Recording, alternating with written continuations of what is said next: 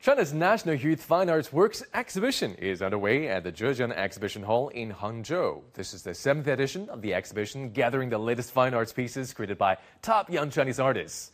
The exhibition was founded in 1957. It's a significant platform for discovery and promotion.